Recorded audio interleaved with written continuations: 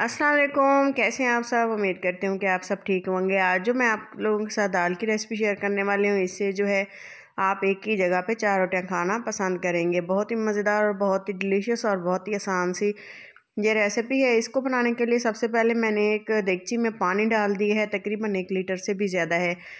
और हमने इसको सबसे पहले बॉयल आने देना है और ठंडे पानी में हमने दाल को ऐड नहीं करना। तो यहाँ पे आप देखें, मैंने दाल जो है लाल और पीली मूंग मसूर की दाल को मैंने भिगो के रख दिया था और ये अच्छे से गल चुकी है। तो इसका वज़न अगर आप देखें तो ये होगा तीन सौ ग्राम, और या तीन सौ ग्राम या ढाई सौ ग्राम, इसी के लगभग है ये। इसको हमने भिगो के रख दिया था और पानी एक से सवा लीटर के बराबर था। इसमें डालने के बाद हमने इसको बॉयल होने देना है, और इतना हमने इसको बॉयल होने देना है कि तो अच्छे से ये गल जाए। यहाँ पे मैं कुछ हरे मसाले इसमें डाल दूँगी। जैसा कि आप इसमें देख रहे हैं, मैंने इसमें प्याज ऐड किया, हरी मिर्चें, साबुत और ये थोड़ी सी स्पाइसी हैं, लेकिन नॉर्मल है। ये टमाटर डाल देंगे एक मीडियम साइज़ का।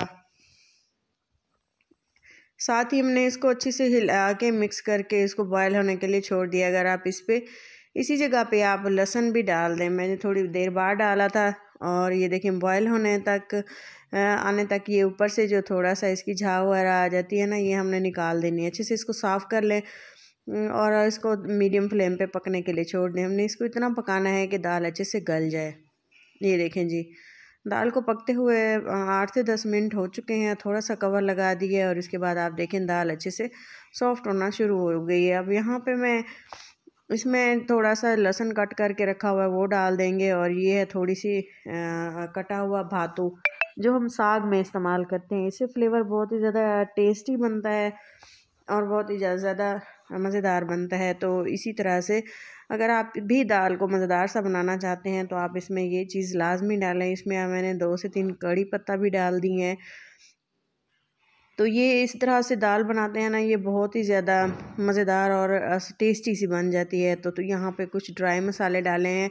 और मसाले मैं इस स्टेज पे डाल रही हूँ। यहाँ पे दाल जो है अच्छे से गल चुकी है। अगर आप दाल अच्छे से गली हुई बनाना चाहते हैं ना तो इसी तरह से आप मसाले डालें। लाल मिर्चें डाल दी हैं, कुटी हुई, और इसके बाद मैंने इसमें डाल दिए है थोड़ा सा सूखा धनिया पिसा हुआ, और एक चम्मच के बराबर, और साथ ही में मैंने इसमें सुरख लाल मिर्च पाउडर डाला है। और यह है काली मिर्च का पाउडर। सुरख लाल मिर्च पाउडर इसलिए डाला है, थोड़ा सा इसका कलर रेड रेड सा आ जाएगा। ये स्पाइसी बिल्कुल भी नहीं होती, सिर्फ़ इसका कलर आ जाता है सालन में अगर हम इसको यूज़ करते हैं। तो तमाम चीज़ें इसलिए आप लोगों के साथ शेयर की हैं। अक्सर लोग ऐसे होते हैं जो पहली बार बना रहे होते हैं देख के तो उनके लिए ये कंप्लीट एक रेसिपी है जिसको बना के जो है वो अपना तारीफ़ में पा सकते हैं। तो चलें जी, दाल को बॉयल करने के लिए हमें बीस से पच्चीस मिनट इसको बॉयल किया और इसको इस तरह से मैंने मैशर की मदद से इसको घोट लिया था घोटना नहीं था मेरे पास तो। पाँच से छः मिनट इसे ऐसे हिलाते रही थे तो दाल बहुत ज़्यादा टेक्सचर इसका अच्छा हो गया था। जैसे ऐसे लग रहा था जैसे हमने इसे घोटने से घोटा हो। तो कंप्लीट इसको पकाने में एक घंटे का टाइम लगा था और दाल बहुत ही ज़्यादा लजीज बनी थी। आप इसको चावलों की रोटी के साथ नान के साथ भी खा सकते हैं। चावल की रोटी और या चावल आ, सिंपल वाइट राइस के साथ भी आप इसको खा सकते हैं। तो अच्छी तरह से इसको मज़ीद हम बॉयल कर लेंगे। अगर आप इसको इतना पतला रखना चाहते हैं तो आप यहाँ पे ही आप तड़का लगा दें तो फ्लेम को ऑफ़ कर दें। लेकिन मैंने फ्लेम को यहाँ पे हल्का कर दिया था और यहाँ पे मैं थोड़ी देर बाद इसका तड़का बनाऊँगी। दाल को जितना टाइम हम पकाएँगे, उतना ही जो है दाल का टेस्ट मज़ीद बढ़ेगा। नमक आप यहाँ पे चेक कर लें, अगर आपको थोड़ा कम लगे तो आप इसमें मज़ीद भी डाल सकते हैं। इसको पकाएँगे और पकाने के बाद हमने जो है इसको बॉयल आने दिया था और आप देख सकते हैं इसका टेक्सचर कितना शानदार है। यहाँ पे मैंने एक पैन में ऑयल शामिल किया है, तीन से चार टेबल स्पून और इसको थोड़ा सा हमने गर्म होने देना है। इसके बाद मैं इसमें एक चम्मच ज़ीरा डाल दूँगी, काला ज़ीरा है और इसके बाद मैं इसमें डाल दूँगी थोड़ा सा जो है कटा हुआ लहसुन अगर आप इसमें पिसा हुआ लहसुन डालना चाहते हैं तो वो भी डाल दें और वरना आप थोड़ा सा चॉप करके इसमें डाल दें, थोड़ा ज़्यादा अच्छा लगता है। थोड़ी एक हरी मिर्च और एक थोड़ा सा प्याज था वो डाल के इसको थोड़ी देर के लिए हमने चलाया।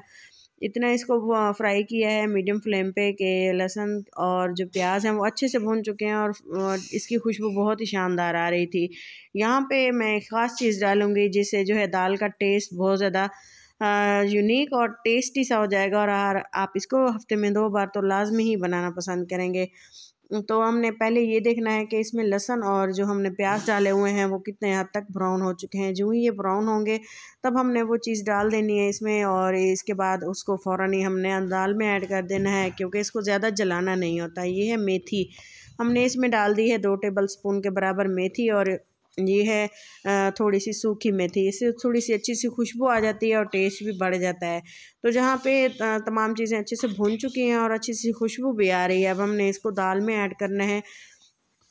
तो आप यकीन माने कि इतनी लाजवाब दाल आपने मुझे लगता है पहले कभी नहीं खाई होगी। तो ये देखें दाल भी अच्छे से आ, आ, हो चुकी है पक चुकी है और यहाँ पे मैंने इसमें तड़का डाल दिया और यहाँ पे इसको अच्छे से हमने मिक्स कर देना है। आपको बताते हैं कि ये कितना शानदार इसका टेस्ट था। मैंने इसको, आप बच्चों को दी थी चावलों के साथ दाल चावल और या आप इसको चावल की रोटी के साथ भी खा सकते हैं, नान के साथ या गंदम की रोटी के साथ जो भी आप घर में इस्तेमाल करते हैं।